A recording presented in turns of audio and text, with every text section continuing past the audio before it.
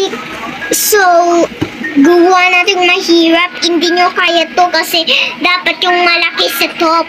Pero yung maliit sa top na. So, maghiram tayo maging 5 to. Tapos magiging 10 na to. Tapos magiging 9 kasi maghiram yung 3. Magiging 13. 5, 6, 7, 8, 9, 10, 11, 12, 13. So, yung answer 8 dito.